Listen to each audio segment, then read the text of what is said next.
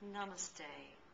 I'm Brandon Bays, and I think it's magic that you're on this seminar that's devoted to the entire consciousness and the whole concept of love. And I wish you well with all my heart on this beautiful timeless time you have.